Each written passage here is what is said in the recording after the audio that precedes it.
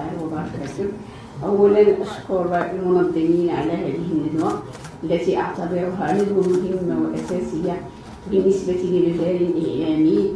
هو جديد وقديم في المغرب.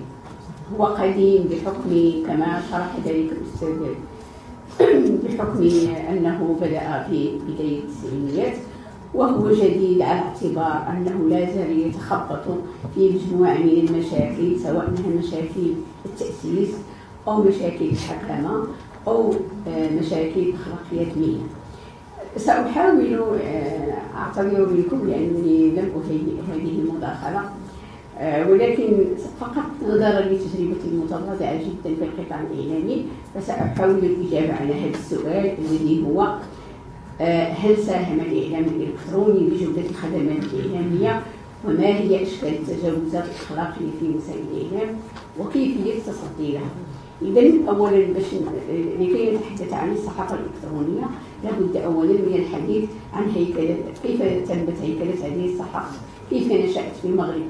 ما هي طرق اشتغالها؟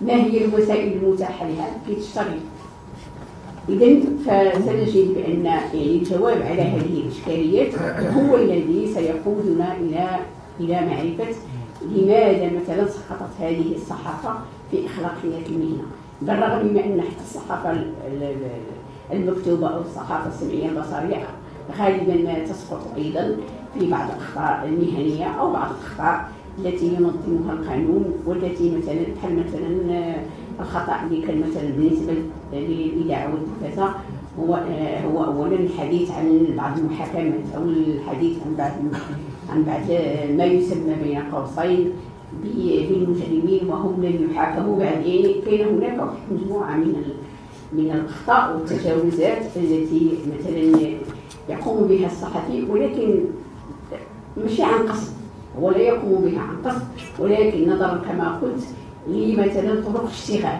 فنجد بأن الصحافة تشتغل في في في فهي مطالبة بالإسراع.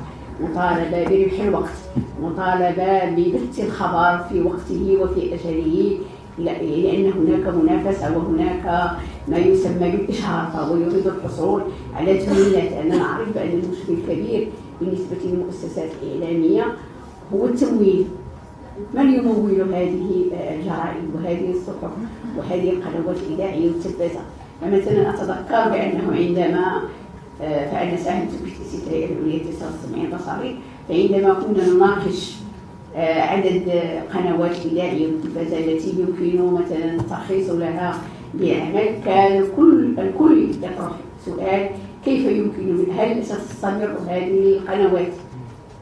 وما هي الوسائل التي يجب إتاحتها لتستمر؟ هذه الإشهار هذه الساحة الإشهارية في المغرب؟ ستمكن مثلا هذه الوسائل الإعلامية من تمويلها. لأننا نعرف بأن الساحة الإشهارية في المغرب ضيقة جدا ونعرف بأن أغلب المؤسسات الاقتصادية والاجتماعية في المغرب فهمتيني؟ إشهارها قليل جدا ولا تستثمر في الإشهار وإن كان في السنوات الأخيرة هناك مثلا نوع من من من الانفتاح على وسائل الإعلام على اعتبار أنها طبعا تساعد على الاستثمار وتساعد على خلق على خلق تموينات مهمة وأساسية. لذلك فالمجال ثم سننتقل إلى ما هو المجال الذي تشتغل فيه هذه الوسائل الإلكترونية. هل هناك حرية إعلامية كبيرة؟ هذه الحرية كيف هي؟ ما هي الوسائل المتاحة لممارسة حرية الصحافة؟ وما هي حرية الصحافة؟ كيف يفهمها الصحفي فلا زلت أتذكر أنه في بداية التسعينات كان هناك نقاش كبير حول مبدأ الحرية والمسؤولية.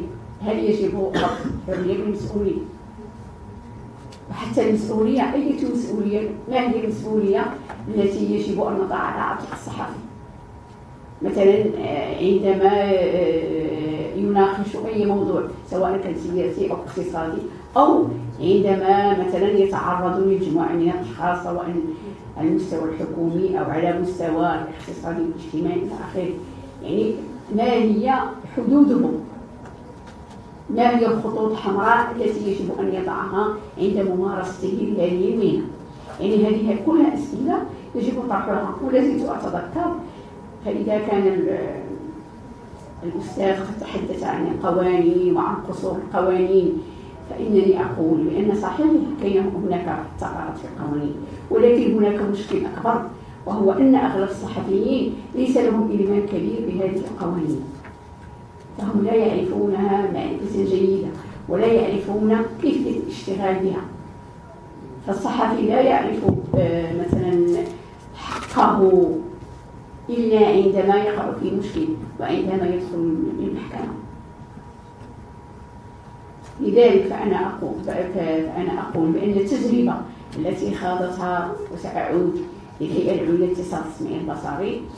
هي أنها كانت أول عمل قامت به هو ما يسمى بتفصيل بتفصيل القوانين ووضع آه، أدوات بيداغوجية لشرح هذه القوانين والقنوات. وكي لأن هنالك لأن آه، هناك مجموعة من من من مجموعة من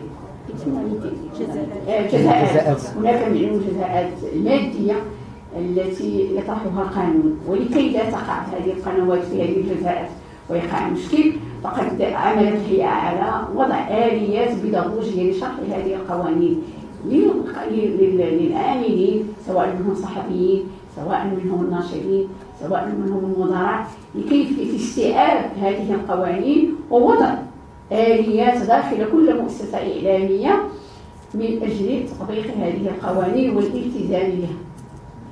وسترون بأنه غالبا يعني الذي ينصت خصوصا الإذاعة الخاصة بأنه غالبا آه، تجد بأن بأن الصحفي يحرص كل الحرص على عدم ذكر مثلا المستشيرين على عدم ذكر بعض الأسماء إلى آخره. يعني واحد مجموعة آه، ديال آه، ماشي هي ماشي طابوهات ولكن ضوابط تماما هي ضوابط يجب الالتزام بها في في في في العمل. وهناك كنظن أول اذاعه آه، يعني عرضت الجزاءات هي هي تغلب هي الاولى التي كانت عرضت.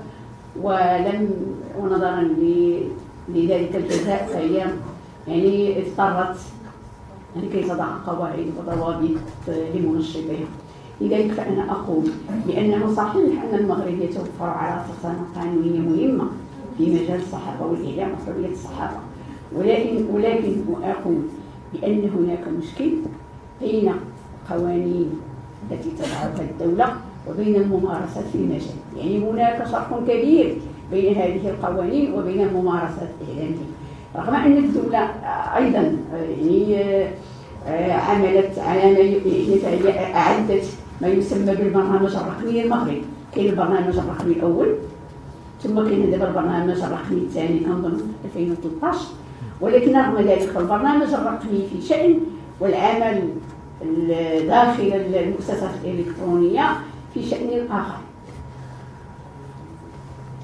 لذلك فهذا هذا الشرح وهذا الفرق بين مثلا الممارسات الإعلامية وبين القوانين.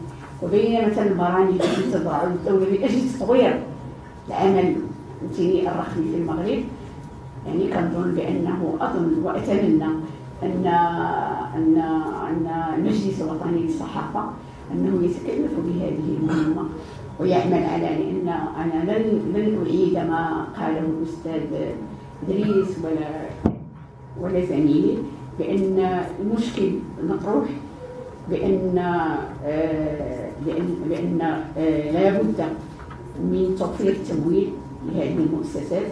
ثم لا بد أيضا لكي نمكنها من الاستمرارية لا بد من التنظيم والتأطير ضروري التنظيم والتأطير وعندنا أنا أقول التأطير لا أقصد يعني أننا نملي عليهم آه، طرق ولكن فقط تأطيرهم من حيث التكوين وإعادة التكوين. ضروري ومؤكد. لأن لأن لماذا التكوين خصوصا في المجال الإلكتروني؟ لأن هناك سرعة كبيرة في تطور آه، في التطور التكنولوجي ولكي مثلا يتم مثلا آه، مواصلة مواصلة هذا التطور فهمتيني نحو والعمل على إنتاجية تستجيب للمعايير الموضوعية آه، وقابلية للاستمرار والارتقاء بجودة الصحافة والمضمون الإلكتروني لابد أولا أن يكون أن يكون هناك دعم للدولة خصوصا بين المؤسسات التي يعني تشتغل بجدية كبيرة أو التي لها برامج لها برامج يعني واضحة واضحة المعالم ثم أيضا آه، تشجيعها على يعني وضع آه، حكامة وتطوير الإطار المؤسساتي لها وشكرا